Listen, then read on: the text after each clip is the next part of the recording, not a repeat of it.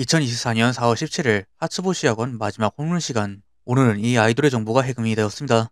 등장 전부터 기묘한 모습을 보여준 이 아이의 이름은 아리무라마오, 나이 17세 하츠보시 학원 3학년 아이돌과 기숙사장, 출신지 효고연, 취미, 남들을 돌보는 것, 연극 감상, 특히 격투기, 손재주가 좋다. 멋있는 아이돌을 목표로 하는 3학년의 소녀, 하츠보시 학원 아이돌과 기숙사의 기숙사장을 하고 있어 남들을 잘 보살핀다. 후배들에게 리틀 프린스로 사랑받고 있다.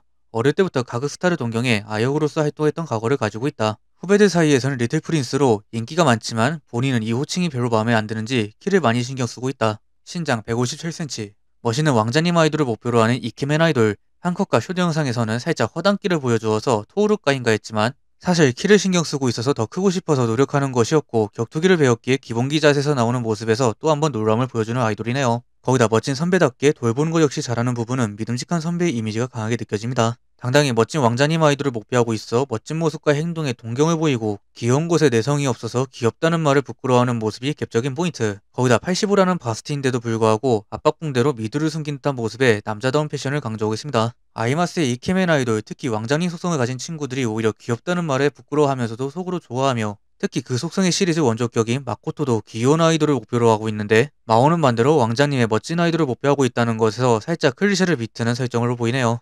이처럼 마오가 왕자님을 목표하는 이유는 가극의 영향으로 보이는데 가극 무대를 보고 동경하게 되어 아역으로 활동할 이력도 있고 멋진 모습이 되기 위해 노력하고 격투기까지 배운 것에서 영향이 강하다고 볼 수 있습니다. 그 가극단이 아마 소녀 가극 같은 여성 가극단으로 추정되며 그 속에서 남성을 연기하는 연기자도 있기에 아마 그분들의 연기에 감명을 받아 왕자님을 목표하게 된 것으로 보입니다. 다만 작은 키가 콤플렉스인지 키가 크고 싶어 하는데 역시 멋짐의 또 하나의 조건이 큰 키다 보니 크고 싶어 하고 후배들에게는 little prince로 통하고 있어 크고 싶어 하는 욕심이 더 커 보이네요. 담당 성우님으로는 나나세 츠무기 씨로 6월 1일생 홀리피크 소속이십니다. 3살 때부터 영어를 배운 적이 있어 영어로 대화할 수는 없지만 발음은 좋다고 합니다.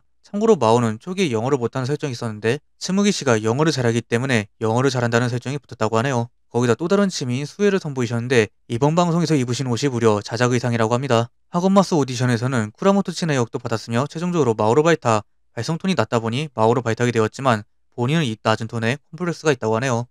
이렇게 아홉 번째 멤버인 마오까지 공개가 되었습니다. 설정은 무난하면서도 클리셰를 비튼 설정. 다만 그녀의 콤플렉스와 함께 확고한 목표가 있고 마지막 찬스라는 말에 있어서 이 아이 역시 진심으로 아이돌을 목표하고 있다는 것을 알 수 있어서 역시 스토리가 무거울 것으로 보입니다.